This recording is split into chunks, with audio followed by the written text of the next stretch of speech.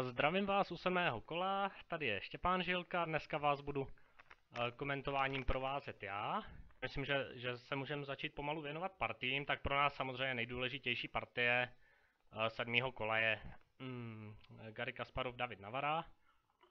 Eh, je to vlastně náš nejlepší hráč jo, proti, proti legendě, takže touto partii určitě strá, se budu snažit jakoby věnovat jí nejvíc času. Takže co vidíme na šachovnici? Uh, jedná se o uh, divokou variantu Karokanu, uh, kde vlastně plán bílého je převést jezdce na F4, uh, postupovat pešcem H4, H5 a snažit se nějakým způsobem lovit toho střelce na G6. Uh, snažit se třeba jakoby vynutit, aby aby hrozbou H5 černý třeba musel zahrát H6, já nevím, jestli tady eh, v tím můžu, můžu klikat, asi jo, eh, aby po H4, H6 jakoby eh, po braně na G6 koněm černý musel vzít pěšákem na G6, takže to je asi to, co se bílý bude snažit, černý se mu v tom samozřejmě bude snažit zabránit. Teorii tady této varianty moc neznám, takže... Hmm, Zatím vám k tomu úplně moc víc nepovím. Eh, v každém případě tady, myslím, na, té, na téhle té naší šachovnici důležité se budou dít zajímavé věci, protože těžko nám mohli hráči připravit uh, nějaký, nějaký napínavější zahájení. Takže já myslím, než se to tady rozehraje, tak se rychle podíváme na ostatní partie, co se děje. Taky necháme a vrátíme se k tomu Davidovi.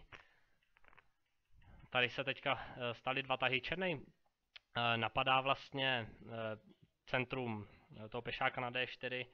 A v této, v této variantě je to samozřejmě mm, pro bílýho o něco nepříjemnější než eh, třeba v přetahované francouzské nebo eh, v jiných verzích francouzské karokanu, protože bílý kůň stojí na C3 a my vlastně bílej nedokáže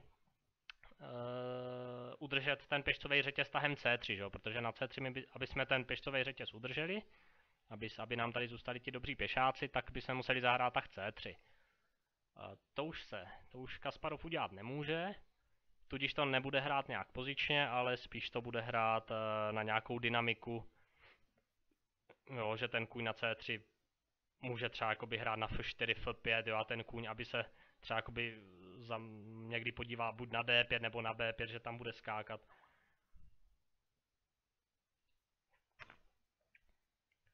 Jo, jo, jo. Prej nejsem úplně moc slyšet, tak já se budu snažit mluvit trošku hlasitěji.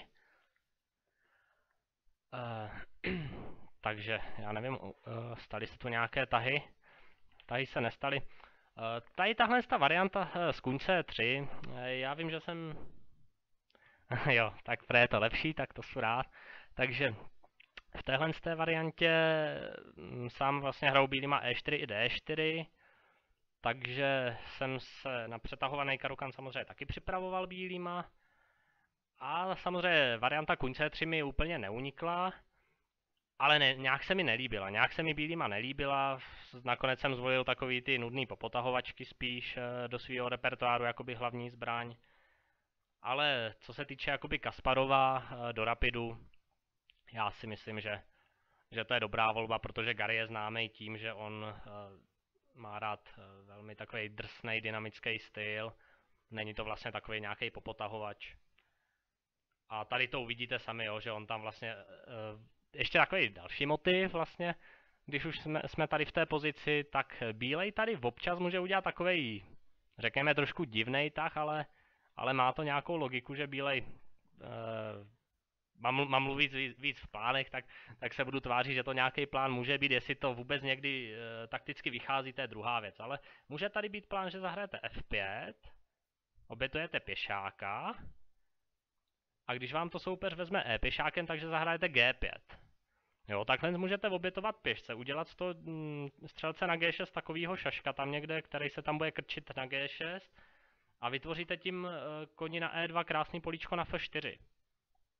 No například v téhle té pozici si to dovedu představit, že by se tak F5 stál. Neříkám, že je dobrý, to vůbec neříkám, nejsou počítač. Eh, teorii té varianty neznám, ale kdyby v nějaké pozici to F5 ten plán byl dobrý a už je tam, vidíte, už je tam, takže uh, můj odhad byl docela dobrý. minimálně teda tak dobré jak ten Kasparův. On pak samozřejmě dál bude tomu rozumět o dost víc, protože si tu variantu určitě i někdy připravoval na rozdíl ode mě. No, F5, G5 a teďka vlastně bílej bude pokračovat kůň F4, střelec B5 a uvidíme, jak se s tím David vypořádá. Já totiž, když jsem mluvil o tom, že jsem si tu variantu mm, chtěl zařadit do repertoáru, abych měli něco takového ostřejšího, mě tam na tom vadila jedna docela zásadní věc, že to nějak počítače všechno hodnotí černýma, že to je dobrý. Jo, když to hraje David, tak tomu evidentně taky těma černýma věří. Takže můžeme se tady těšit na takový souboj vlastně dvou zcela odlišných. Že jeden vlastně bojuje za iniciativu, druhý bojuje za materiál. Uvidíme, jestli zvítězí, zvítězí duch nebo hmota. V tenhle moment eh, bych fandil spíš té hmotě, protože přestože Kasparovi fandím a doufám, že uhraje v Sandluj krásný výsledek, tak samozřejmě spoluhráčovi Davidovi to fandím, přeju daleko víc. Takže tolik, eh, tolik téhle z té partii, budeme se k ní vracet eh, pořád dokola, z, už ne, nejen protože je nejzajímavější, ale hlavně protože tam máme ty dva nejdůležitější pro nás hráče. Mrknem narychlo na další partie. Takže dáme si tam naši oblíbenou partii.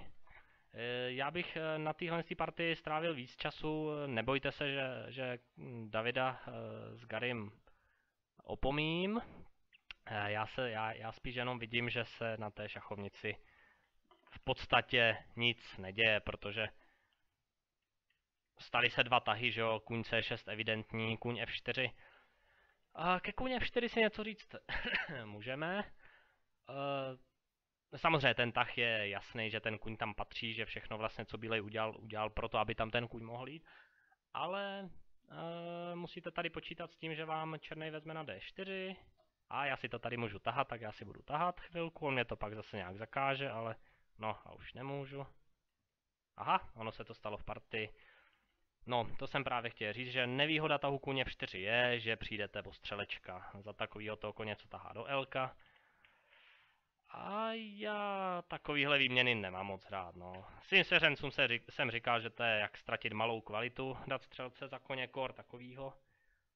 Ale tady když se podíváte na černou dvojici střelců, tak ten na G6 to je opravdu kašpar. Uh, tlak proti bodu D5 uh, je zajímavý, nepříjemný. Opticky působí pozice bílého strašně nebez, eh, strašně jakoby aktivně. Určitě by vám každý řekl, že v praktické partii že to je za bílý jakoby e, příjemnější, jo, že, že, že počítač říká jako rovina a že to je v praktické partii lepší bílýma. Já tady na tohle to moc nevěřím. E, vůbec nevěřím na nepraktičný, věřím na to, že jsou pozice, které jsou praktické, které jsou nepraktické, to je jasný, to se spochybňovat opravdu nedá, ale že by útok e, byl praktičtější než obrana, to je místo, kde se určitě jako budu s většinou lidí rozcházet. Podle mě dneska jsou hráči velmi dobří obránci a nemusí mít elo ani 2737, jak má třeba David. Takže uh, já určitě nevěřím na to, že jestli je pozice, jestli je pozice vyrovnaná, nevěřím na to, že je zabílý praktičtější, ale teďka tady takovej ten uh, jejich rádoby engine, on by měl být nějaký slabý, takže on se může mílit. Engine říká, že to je za bílýho lepší a pokud je to už lepší, tak pak to bude za bílý i praktičtější, protože v téhle z té pozici bude Gary určitě, určitě dokáže hrát ty nej, nej, uh, bude, bude schopný se hodně přiblížit optimálním tahům. Jo, teďka si střelce vezme, že jo. No, on aby nás Gary nepřekvapil, jakým kuň bere D5, ale to se asi nestane. Problém je samozřejmě, Střelec na G6 špatný, eh, bílej obrovská iniciativa. Černý eh, musí, musí být opatrný, no, musí být opatrný. Eh, a opatrným nemyslím, že má dělat pasivní tahy, opatrným myslím, že musí dělat přesný tahy. Je to, je to krásná pozice a měl jsem vám vykládat plány a teďka mi řekněte, jaký plány. Já mám v téhle pozici o jakých plánech mám tady povídat, když to je uh, naprostý chaos, který vlastně je jenom o tom, komu to nějak jakoby líp vychází, protože oba králové jsou docela ohrožený. Samozřejmě Bílej král je víc bezpečí, protože na něj nikdo neutočí. Uh, Černý král se může dostat do nějakých problémů, že po E6. Černá dáma se může dostat do problému po kuň bere D5 nebo věž bere D5. Uh, já si myslím, že Černý král by někdy mohl najít docela, docela hezký, hezký místečko na G8, ono. Pak Bílej určitě nebude moct prorazit nějakým brutálním útokem, jo. nějaký dáma H4, věž D3, věž H3, kuň bere H5, to je naprostý sen, jo. to se vám, to si nedovedu představit, že by něco takového kdy mohlo fungovat, takže král bude na G8 v bezpečí, černý král bude na G8 v bezpečí, ale jestli to znamená, že bude černá pozice dobrá, to nemusí znamenat, protože bílej nemusí tady vůbec mít plán toho krále zmatovat, že on může mít plán uh, si v klidu tady dobrat pešáka na D5, zahrát E6 a, a hrát to třeba proti tomu střelci na G6. Je to krásná partie, zatím, zatím můžeme jenom doufat, že, že to Davidovi vyjde, že to Davidovi vyjde líp. Možná teda někteří z vás fandijou Garimu, ale já si myslím, že většina diváků asi bude na Davidově straně spíš. A já si myslím, že se máme určitě na co těšit. Čas máme 15.15, zajímavá pozice. A to, co tady hlásí engine, eh, na to, na to, na to skoro můžeme v tom Rapidu trošku zapomenout. Sečteme pěšáky, to je docela důležitý na pešcové struktuře. 6 pro bílýho, 7 pro černýho, takže i když černý ztratí pešáka na D5, tak pořád to bude pro bílýho maximálně vyrovnaný materiál. Padá tam C3, padá tam A2. Nemám z toho vůbec pocit, že by se tady dalo jednoznačně říct, že Bílej má výhodu. Já tomu engineu tady prostě úplně nevěřím, on může vidět něco, co já nevidím, co vy nevidíte. Ale v praktické partii, když bych tady měl černý, tak bych si prostě říkal, no nějak to dopadne, v Rapidu obzvlášť, že jo, tam nic nespočítáte. Tak bych prostě dělal ty nejle- snažil bych se dělat ty nejlepší tahy, nedělal bych je, ale snažil bych se a doufal bych, že to prostě nějak vyjde. Tak, já už mám Kasparova. Výborně. Tady se totiž něco stalo. Tady se něco stalo. Mm, docela důležitý na téhle partii bude sledovat uh, čas. I když... Pokud by se hodnocení nějak výrazně teda zhoršilo v neprospěch Davida, tak ten čas tak důležitý být nemusí. Je tady uh, trošku znervozňují ty počítačový ty, protože jako že, že, mně to úplně nepřijde, že by tady stál výlej, teda Bůh jak dobře, a že by výměna dám tady měla černýho položit, se mi už vůbec nezdá. E, je docela těžký to ignorovat, když to máte přímo jakoby před očima, že jo, a ty počítače tu taktiku docela vidějou. Takže co se tady děje? No tak eh, děje se tady to, že Kasparov vlastně nabízí výmě, výměnu dám a je docela pravděpodobný, že Černej se jí nemůže vyhnout, protože tady někam líst dámou na A2, že jo, tak na A1, tak zahraje mm, Gary král D2, dáma bere A2, ta dáma tam nemá co dělat. A ta iniciativa proti černému je obrovská, navíc dáma kryje pole F8. Takže můj pocit je, že to černý vyměnit by měl. Jestli to má vyměnit třeba tahem jako dáma B4, to si úplně jistý nejsou. Jestli by to mělo nějaký smysl napadnout toho koně, Hlavně by tam mohlo být na to třeba věž D8, z, z, no, si tak jenom tak ukážeme, jakoby, co je myšlenka. Jo, teoreticky by tam někdy mohlo být něco takového, že takhle byste mohli ztratit dámu, potom dáma B4, když... Ale možná, že po věž D8 to tady asi v klidu vezmete králem, jo, já, já to tady nemůžu počítat nějak... Uh, to je docela možný, že prostě by, že, že se mu úplně nehodí, aby ta věž se dostala na C5, že jo, kde je docela dobrá a může tam hrozit střed, bere C6 se ziskem pěšáka, pak nějak tu šestou řadu už bude napadat A, A6. A e, možná, možná se David bude snažit tu koncovku získat v trochu lepším provedení, než po dáma bere C5. Moc nevěřím tomu, že tady počítá dáma A1.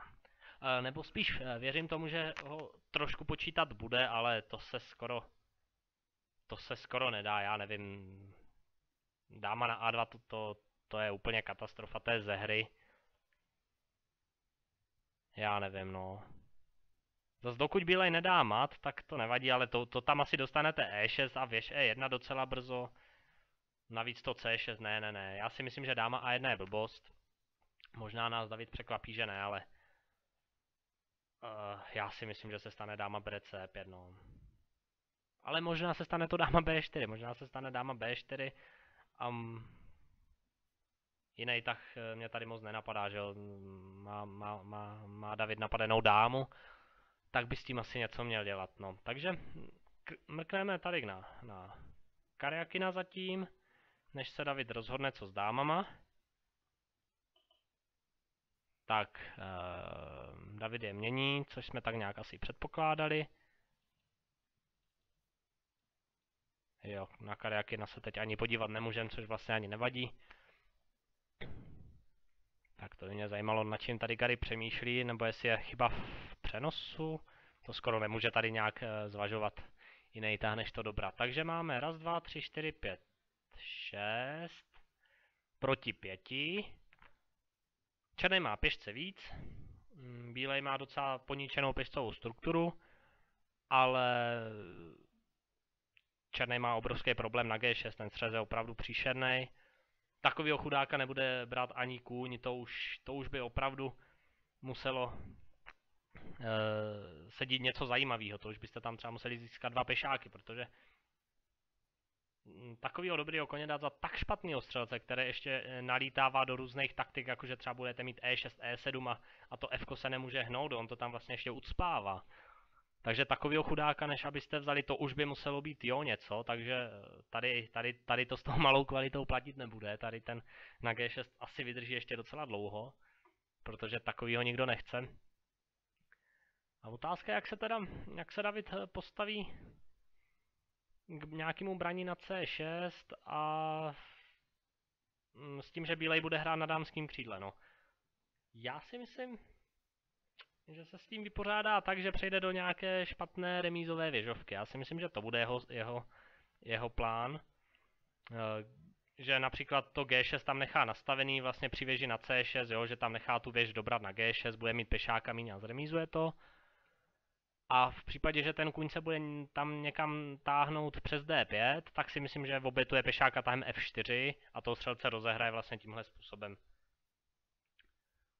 Otázka je, jestli třeba po tahu střelec bere C6, jestli tam nemáte vy, běžáce 8, jestli tam takový tah není. Ale musí, musíte na to vidět, jako že tam je za bílýho možnost kůň D5 eh, a najednou hrozí vlastně vidle proti té věži hrozí eh, a ta vidle bude samozřejmě platná i tady, že jo, v tenhle moment.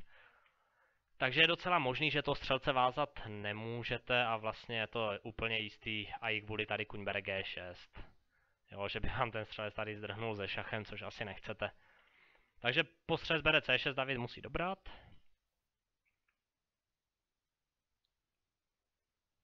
Tak, ale to se nestalo. Stalo? Doufám, že ne. To, to je asi jenom moje varianta. To je asi jenom moje varianta, co jsem si tady natahal. Jdeme, jestli se něco stalo u Kasparova. Stalo.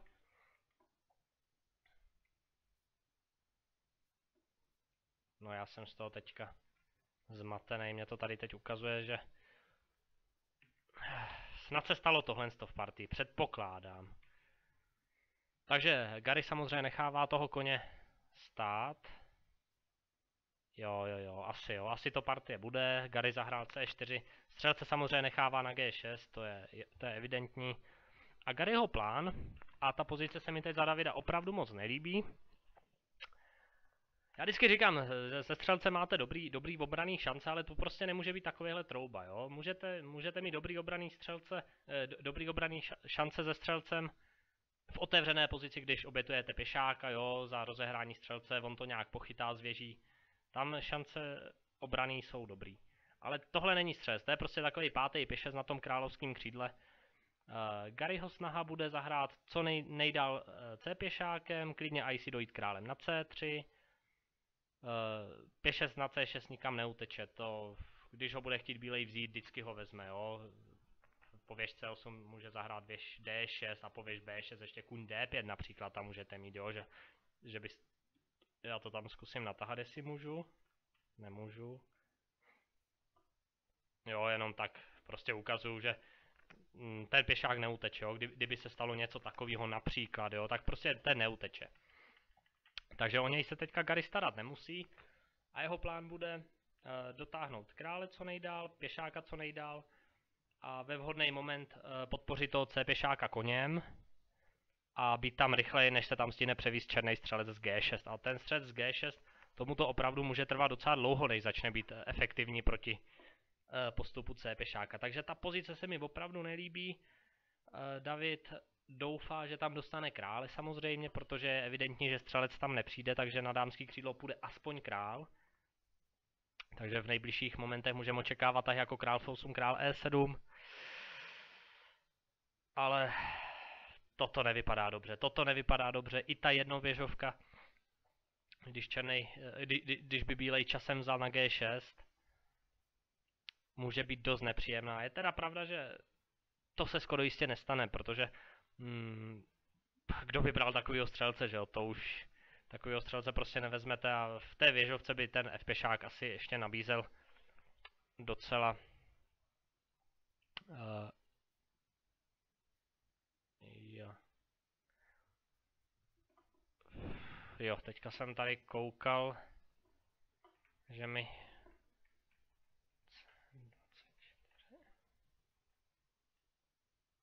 Jestli už nejde čes 24, možná jsem dostal zprávu, možná ne, tak já to ještě překontroluju. No, v každém případě David tam teďka eh, se bude snažit dostat krále. A Gary, jo, takže čes 24 ještě nejde, tak dobrý, to jsem nějak... Ne to takže můžeme pokračovat tady. Uh, David ztratí celý dámský křídlo, to prostě... Jak tomu chcete tady zabránit? Eh, bez figur, to je zlý, to je zlý ta pozice.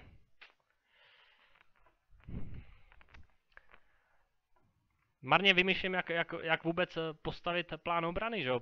To prostě černý, čern, černýmu, černýmu, černý tady nem, nemá tahy. Nemůžete přejít do pěštovky s pěšce míň, nemůžete...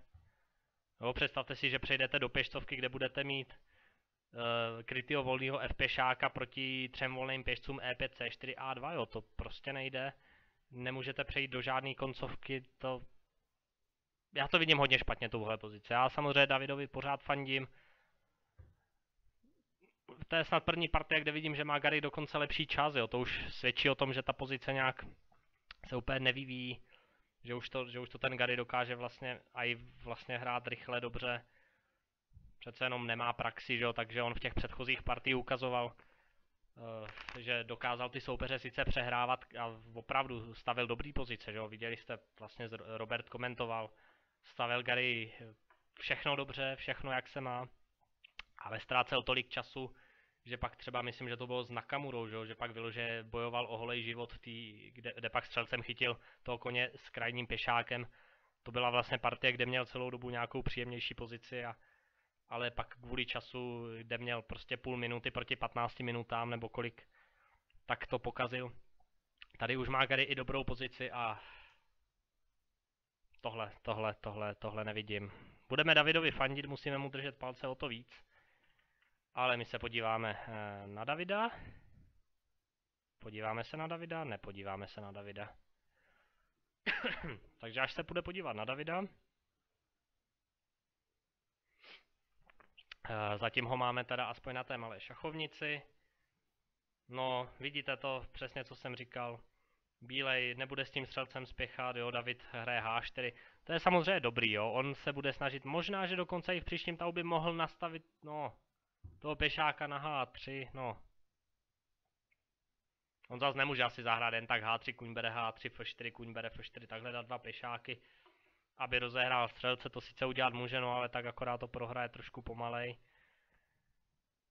Hmm. No, Gary prostě půjde si zezobnout ještě toho A pešáka, rozběhne, rozběhne to Ačko a když se mu... Ne, já, já vůbec nevidím, jak, jak, co tady černý má dělat, mně to přijde Mně to přijde, přijde, že to je úplně prohraný, no. A, takže, mrknem na Davida, mrknem na Davida, máme nějakou šanci, máme šanci, máme 3 minuty 23 hodin na Kasparových hodinách. Černá věž by to samozřejmě chtěla zkusit na pešce H2, ale prostě to C vám uteče do dámy, jo, to, to tam zahrajete C6, kun D5, věž, věž A8 a to je, to je prostě dáma, že jo, ne, nemůžete tam lovit.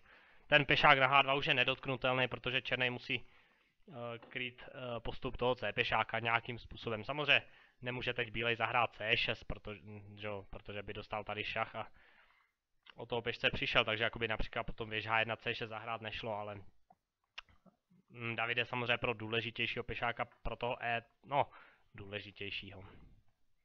Důležitější není, ale uh, ta věž z E5 by vázala toho C pešáka, po král D4 navíc tam budete mít věž E4 šach na toho koně, takže on David zkusí to na nějakou protihru, tady ještě trošku, trošku zakalit vodu, věž H1, věž H1 jakoby by byl takový typický tah zemsty, jo, že zahrajete věž H1 prostě, já to zkusím, jo, a pak zjistíte po dvou tazích, eh, že prostě ten C pešák je opět tahu dřív, tak.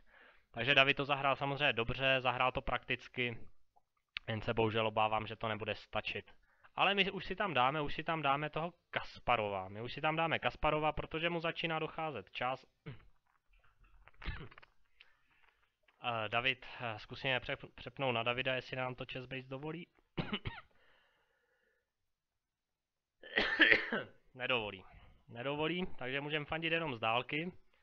Eh, David má minutu, proti Garimu 1.40, samozřejmě Davidův čas je tady. Je nepodstatný. Počítač se totiž tvářil, že, tváří, že David vyrovnal. Počítač se tváří, že David vyrovnal. Teďka samozřejmě to háčko, už vidíte, že je poctivý a to je teda fakt smůla, jestli my si tu pozici nemůžeme přehrát. To je, že si to nemůžeme dát na hlavní fakt už, aby jim to začalo fungovat. Já to asi nejsou tak neschopný, abych nedokázal prokliknout správně partii, ale to prostě nejde. Takže... Eh,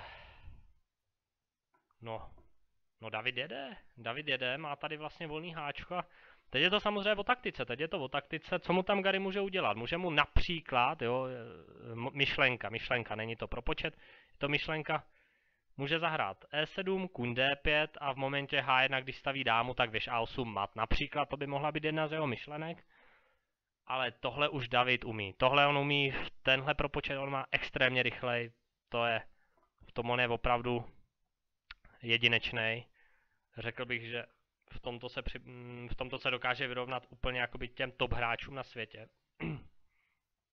Třeba bude mít nějaký uh, slabší stránky, kvůli kterým se na těch 2800 uh, eh, je docela jakoby těžký se pro něj dostat.